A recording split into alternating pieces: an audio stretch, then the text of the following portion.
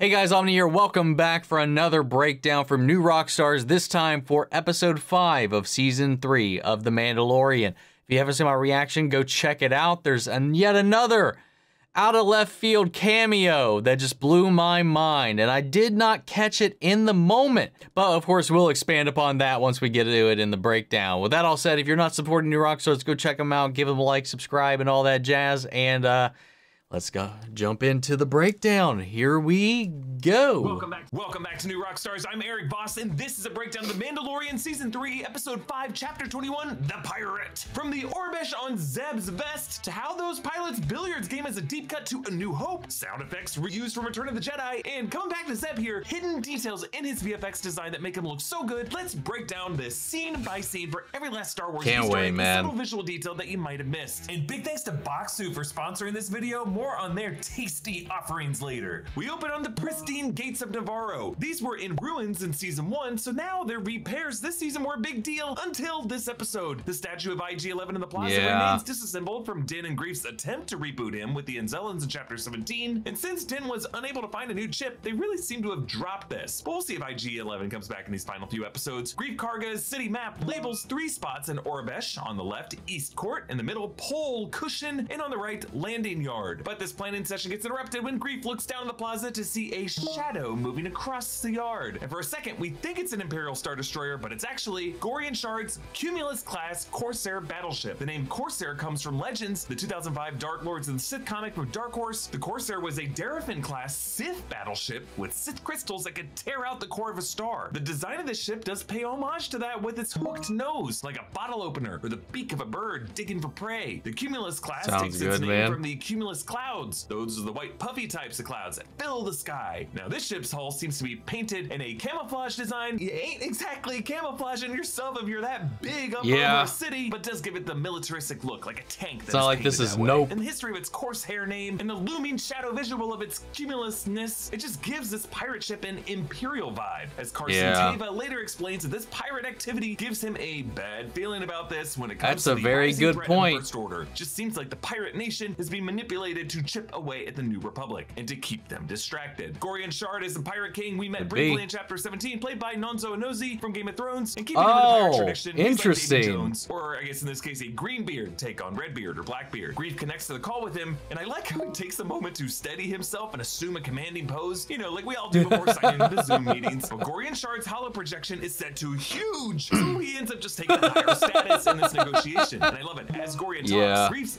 bust, which has been restored from chapter 17, it's now in the background and it starts outside of the frame of Gorian's holo projection, but moves closer and closer to his mouth, showing how Gorian is devouring Greef's interests here. Gorian scolds Greef about shooting his helmsman, and Greef says, He shot first. it's a great nod to the famous Han and Greedo shootout in A New Hope, Mm-hmm. Yep. where Han shot first in the original version, but George Lucas changed it for the 1997 special edition so that Greedo shot first, leading to the who shot first, Han shot first debate among fans. Greef bluffs that he's under the protection of the New Republic, and Gorian just laughs that Navarro is an independent system, which to be fair, is independence that Greef told Mando that he wanted in chapter 17 after they both talked shit That's about true. the New Republic. He's really reaping what he sowed. Gorian says, This isn't sabacc, and you can't bluff your way out of this one, Karga. Referring to the in universe card game played by Han Solo and Lando Calrissian, Gorian rains cannon fire down on Navarro like, oh, say, Thrawn upon Lothal and Rebels, creating a lifelong enemy in Ezra Bridger. I think this is going to come back up in the next few episodes as this series pivots to set up Ahsoka. After the initial bombardment, Possibly. the gates of the city are already reduced back to rubble. The episode's title of The Pirate cuts to a trop That, could just reference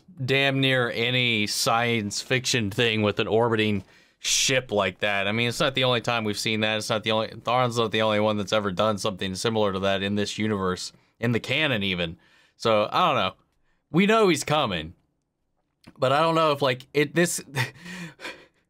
Thrawn is uh, Eric's Mephisto for this universe, so expect everything no matter how minute to end up connecting back to that. But who knows? Maybe it will.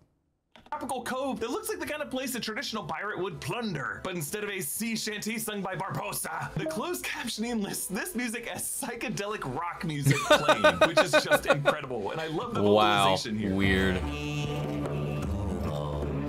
It reminds me of the absolute jam Yeah. that we heard as we soared into Niamos on Andor. Remember that? Yep. We see an X-wing It also reminds me of the music in uh, um, Fallen Order.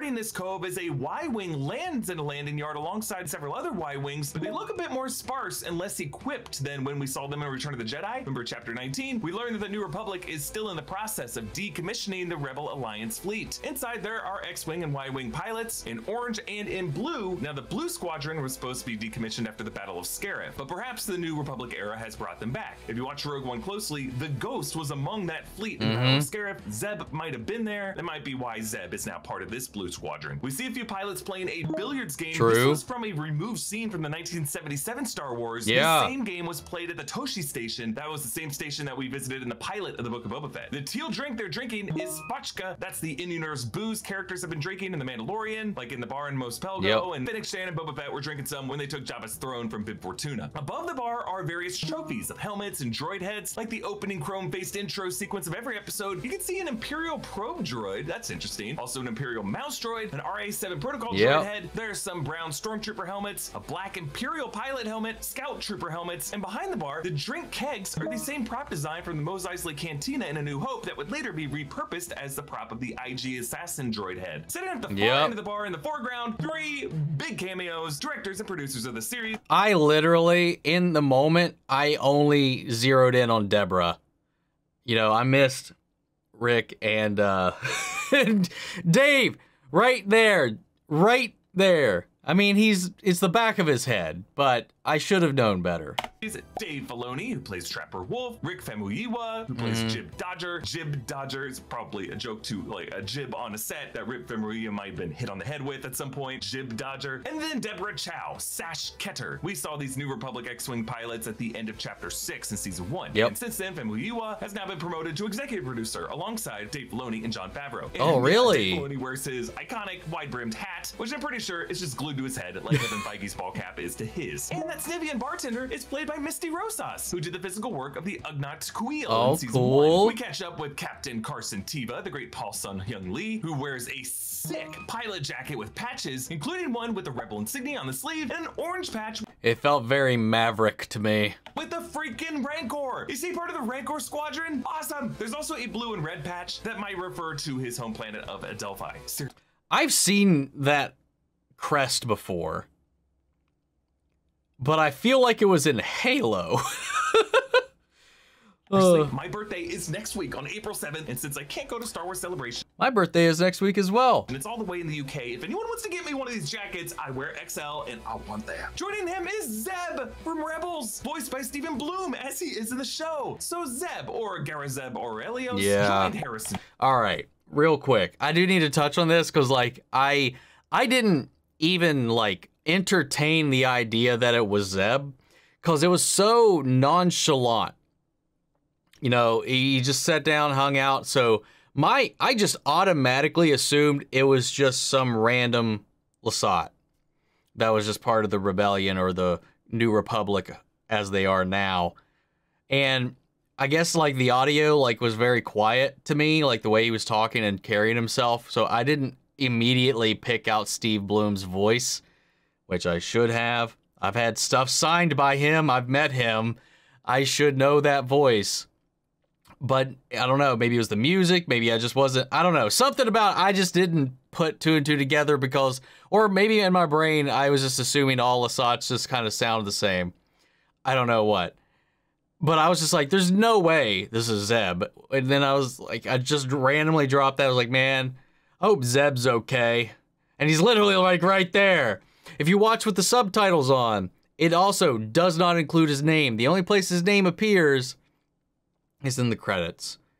And that's when I found out because I watched just to see because he had lines, so they would have had to credit the person. And that's that's how I found out. Damn, man. I'm still kicking myself about that.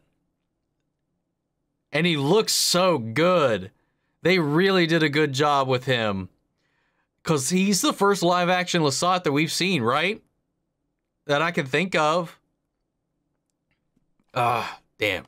Dula, Kanan Jarrus, Ezra Bridger, Sabine Wren, and that little Chopper on the Ghost, and he will be the Yeah. fourth character to show up in live action from the Crew of the Ghost in the upcoming Ahsoka series, alongside mm-hmm. Hera Syndulla, Sabine Wren, and Ezra Bridger. And the fact that he shows up now in this New Republic pilot bar tells us that Hera will likely soon be introduced for this Ahsoka series. I did see the Ahsoka teaser at last year's celebration, and we do see that Twi'lek head from behind. His flight vest Really? Hell yeah, Ornish. man. That's hard to translate at first, but that's because it's upside down so that the pilot would be able to look down at his chest and read it. And it translates to pull to in flight. So Armin Mm. Zeb is pulling a Marty McFly and wearing a life preserver in case his Y Wing ever crash landed in the water. The VFX work on Zeb is just so good, and it's all in the details. Like, look closely at his Mm-hmm. face on this line. Request permission to intercede.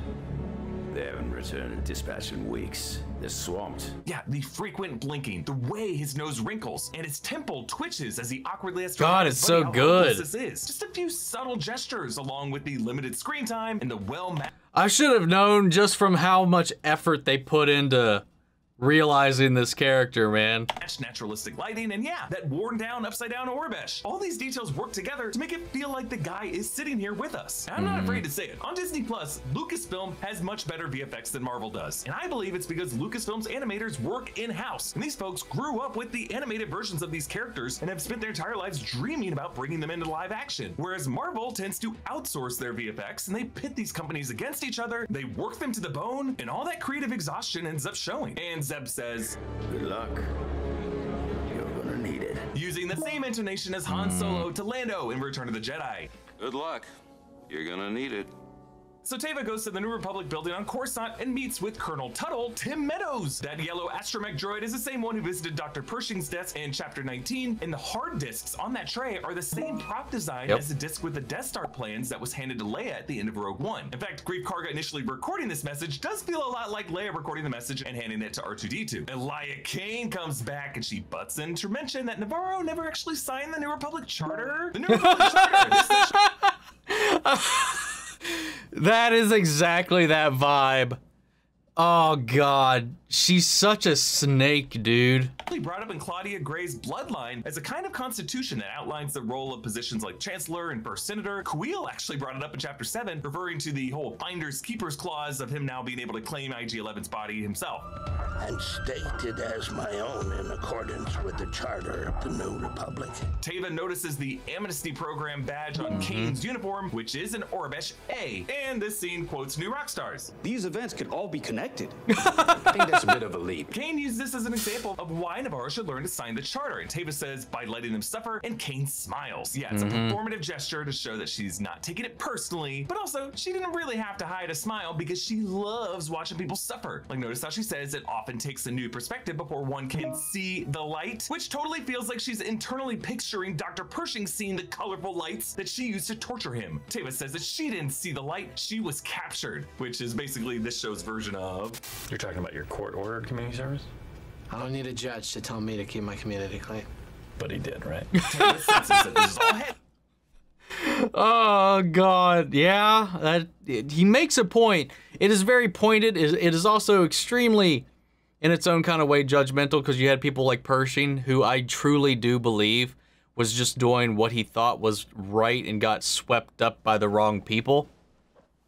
And there are a lot of people that were with the Empire that were it was the only option or it was the best option for their families and stuff like that, or whatever. Like there's a multitude of reasons, but then there there are people like her who are still embedded so deeply in it and they're just using this as a way to work from the inside to cripple every chance that they can. headed toward the First Order, saying there's something happening out there. All these events, it's not a coincidence. And before it becomes too big for the knack, it'll be too late. Captain Teva tracks Yep. down the Mandalorian covert, saying one of them served with him in the rebellion and snitched. And it was R5D4. Remember, Peli Motto reminded us in Chapter 18 that R5 did serve the rebellion, which I had thought referred to that certain point of view story when R5 intentionally blew his motivator so that R2 could go with Luke, but I guess there was more history there. Din hears Teva's request to help Greef, and he makes his case to the rest of the covert, carrying the armor. God, I loved this scene. stick. I love the way they repurpose it from a forging tool to a speaker's gavel. Din acknowledges that many of these guys once fought Greef in chapter 3 of the series, and Din declares, Perhaps it is time for us to live in the light once again, a place where we are welcome so that our culture may flourish and our children may feel what it is to play in the sunlight. And I love how Grogu smiles at that because our boy just wants to play. But Din is suddenly redefining what it means to be a Mandalorian because some would mm-hmm. say it's really their culture to be shielded from the sunlight by always having to wear their helmets. But I love how later in this episode, the armorer will see this light when Bo Katan is framed in a beam of sunlight and is told to remove her helmet. I like how Paz Vizsla doesn't just rise up to just signal to Din that he's on his side. He only speaks because he heard all those nervous murmurs and he knows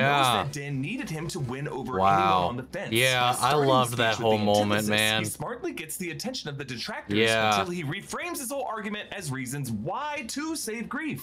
Because we are Mandalorians. Rhetorically, this is the same tactic McConaughey's character uses in A Time to Kill, explaining why Samuel L. Jackson was justified in killing a Klansman who raped his daughter by telling the jury to imagine what happened to the girl with vivid detail, and then closes with, I want you to picture that little girl. And now imagine she's white. Now, I guess it's not as artful or as powerful of a speech here, but you get the idea. Paz says that Bo Katan didn't give up on my son's life even when the rest of us did, signaling that even he gave up a bit on his son's survival prospects. As Bo Katan shows Yeah, them her that's Combat true. class fighter transport, she faces the shoulder that bears the Mythosaur signet on that new armor piece of the armor just cast for her last episode, appealing to the thing that unites all of them instead of turning to show her Night Owl history that actually broke off from the Death Watch that these guys are derived from. They Mm-hmm. exit hyperspace, and the planet of Navarro zips in at them, a visual that will always look so rad to me. And we see how these drunken love it, pirates have now overtaken Navarro, a poor astromech droid just bumping into the rubble until he sparks, just offing himself because he hates it here. It really is like these pirates are drunkenly singing, Yo, God.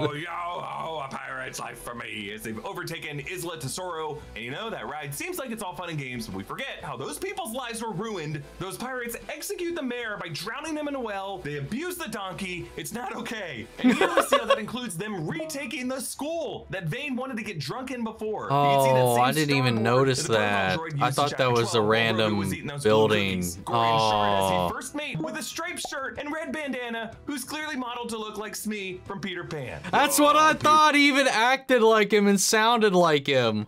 Pan and Star Wars. That ain't Star Wars, bro.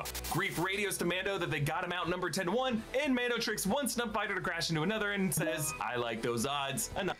Dude, like that made me think of that one of my favorite lines from the Halo franchise when the Covenant fleet is facing off against the UNSC and the Sangheili Alliance, so like with the shipmaster out there and his uh navigator is like, "Sir, they outnumber us what? I think it was like 3 to 1." And His response is then, "Then it is an even fight."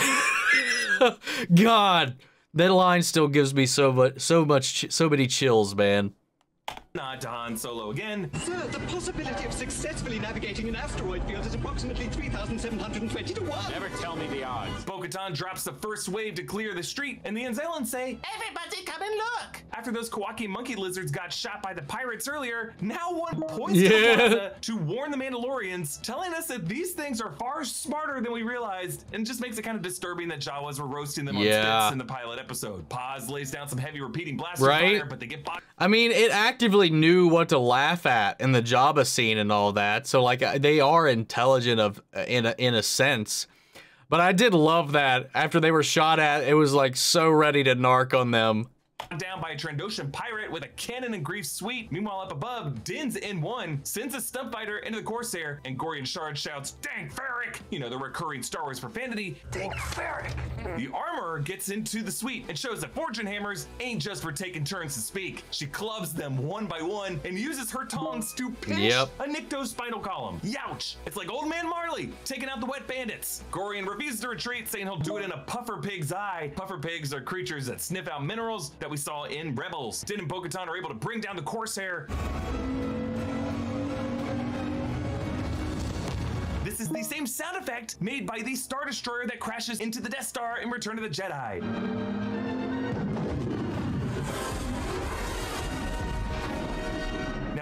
Into the side of an active volcano, and we see the ground quake. It's a seismic event that I would be nervous around anywhere with Yeah. hot springs and active lava flows, but it doesn't matter. They all cheer, and we hear those Anzellans shout, It's gonna be okay! Which is something I'm just gonna start cheering whenever I'm excited, because that's all we can really hope for, right? That it's just gonna be okay. Now, in this cheering crowd, I love what I call extra extras. Like this super psyched out person in front of the N1, because if you've ever been on a production set, for sound purposes, extras often have to emote and cheer silently, and they'll fill in the sound effect later during the dubbing process. so this person is just really screaming silently here. Thank you.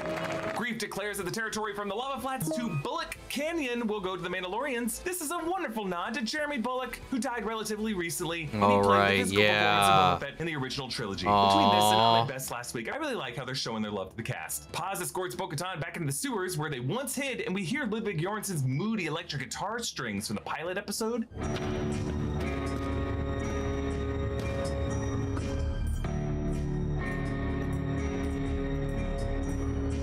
The armor recall the Great Forge of Mandalore. The armor says it was large and ornate, and the air rang with the music of a hundred hammers. To her, hammering is music. As in Chapter 17, the strikes of the hammer were synced with Joseph Shirley's drum music. Their armor compares the Great Forge to this simple one. Now, both serve the same purpose. She's coming to terms with the fact that the ornate mm-hmm. ceremonial trappings of the Mandalorian's past are not the way for the future of the Mandalorian people, and that open-minded tolerance will attract greater numbers. That is why she tells Bo to remove her helmet, not Yep. to trap her, but to allow her to be a Mandalorian in her own way, trusting that the Mythosaur presenting itself to her was a more valid sign important. The armorer says, I was taught that the Mythosaur existed only in legends, and yet you saw it. It is a sign that the next age is upon us. Yes, the phrase only in legends, another double meaning, as much of what we know about the Mythosaur Yeah. really comes from legends or expanded universe literature. The armorer joins a helmetless Bo-Katan, saying that she walks in both worlds and can bring all tribes together. Paz Vizsla turns to Din Djarin uncertain, as the two of them previously dueled over this question of over That's being true. Apostate. So when the armorer pledges to retake Mandalore, I don't think it's a false plot to set up Bo-Katan to fail again. The drum music swells with pride. It casts her at the end of a redemption arc. But my question to you is, does this redemption feel earned to you as a viewer? Isn't it a bit odd for the armorer to take Bo-Katan at her word when it comes to seeing the Mythosaur? And wasn't it Din and Paz who really gave better speeches here and did more to win this battle? Like, don't get me wrong, I really like Bo-Katan. I think she could be a great leader. It just feels like the armorer is weirdly rushed and eager to embrace her. Like she automatically baptized her. She breaks the helmet rules for her. In fact, I'm now half wondering if the armor might secretly be Bo-Katan's sister Satine, who somehow survived. Somehow Satine returned. I know I mean, that's a big theory. Another one is crap. I'm blanking on her name right now.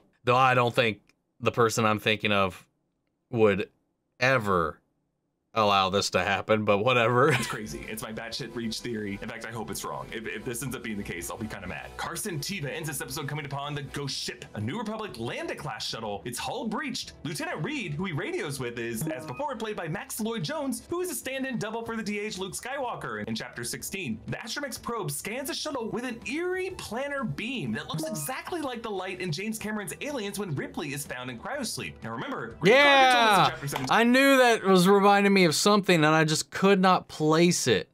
That Moff Gideon was escorted personally by Cara Dune, who he said then went off to join another division. But I guess it is possible that one of the corpses in the shuttle could be Cara Dune, and that, like Poochie, Cara Dune died on the way back to her home planet. He notices a chunk of Could Beskar be. alloy in the wall. He assumes Mandalorians did this. Now, despite the fact that there are other Mandalorian tribes out there, some may be more vengeful, I just don't think Mandalorians did this because Mandalorians would have just killed Gideon instead of extracting him and kidnapping him. And I don't think any Mandalorian would leave any Beskar behind. Mandalorians just aren't that sloppy when it comes to their Beskar. So Yeah. I think this was whoever bombed Bo Katan's home. Someone framing the Mandalorians, someone actively hostile to the Mandalorians. Perhaps Thrawn, who might be trying to frame or trying to aggravate Sabine Wren, who is a Mandalorian from Krownest. Next episode's supposed to be a big one. I think we're gonna see Thrawn in it, and I believe Grand Admiral Thrawn could prove to be the ultimate pirate of this episode's title. Hey, a reminder to subscribe to our Interesting new channel, thought.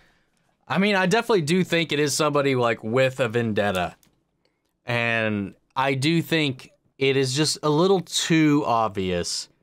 While it very well could be one of these other clans, or like I had posited, maybe some element of how Gideon was able to be so effective on Mandalore and end up with the dark saber is with the help of other Mandalorians who were maybe turncoats or had something else in mind, or maybe a deal or alliance at play.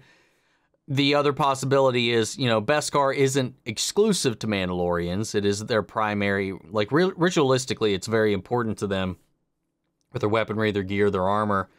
But like we've seen that other people have acquired it over time in various different ways. It has been taken. And I think the that the vocalization of that from Carson is is possibly a red herring for the truth, at least. But you never know. We don't know yet. We'll have to wait and find out. But um, another person that definitely has that want and that quest for, you know, dismantling them, maybe physically or even reputationally, is Gideon to strike back for what has happened to him. Uh, a lot of fun stuff though in the in the breakdown in this episode. I'm still again so salty about the Zeb thing just because again, I just I was just in such belief that it wouldn't be Zeb that I just didn't allow myself to like jump the gun and be like, "Oh, hey Zeb," when it was. But guys, what do you think? Were there any Easter eggs that you guys caught that they missed here? If so, sound off the comments. Let me know your thoughts down below. We'll carry on the conversation after the video. Make sure to subscribe to New Rock Stars, And if you enjoyed this reaction, make sure to like, comment, subscribe here. And check out my reaction if you have not. And before I go, I want to shout out our channel legends. Manny Sher, Ryan, Karen, Jason Coleman, Philly Vane, Yori Corey Scott, Margaret Grace, Melita, Robert Anguiano, Raven McGann, Jeffrey Hale, M. Sephiroth, Jake Cantrell, Josh Lee, and Aaron Myers. Thank you guys so much for your continued support and everybody who's been supporting the channel and helping us grow. Thank you guys so much. And that's it for this video, guys. I'll see you all next week with the next one. Until then, may the force be with you always. Take care, everybody.